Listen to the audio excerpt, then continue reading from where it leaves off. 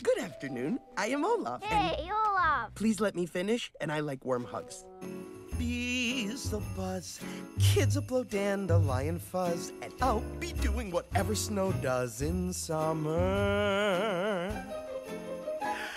A drink in my hand, my snow up against the burning sand, probably getting gorgeously tanned in summer. I'll finally see a summer